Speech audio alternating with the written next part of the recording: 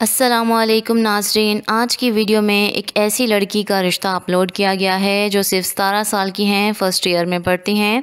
और ये इतनी जल्द शादी क्यों करना चाहती हैं, ये जानने के लिए वीडियो को आखिर तक देखिएगा।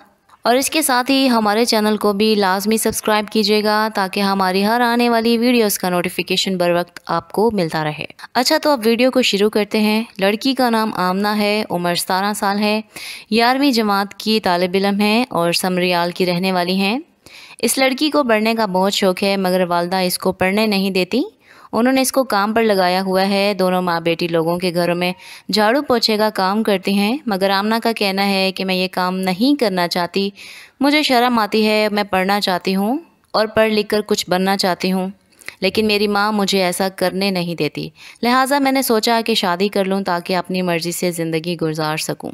और मैं शादी किसी ऐसे लड़के से करना चाहती हूँ जो मुझे आगे पढ़ने की इजाज़त दे और मुझे इस तरह से लोगों के घरों में काम करने पर मजबूर ना करे। तो अगर कोई ऐसा लड़का जो सच्चे दिल से मुझे अपनाने के लिए तैयार है तो अभी कमेंट बॉक्स में आकर अपना नंबर लिख सकता है। शुक्रिया।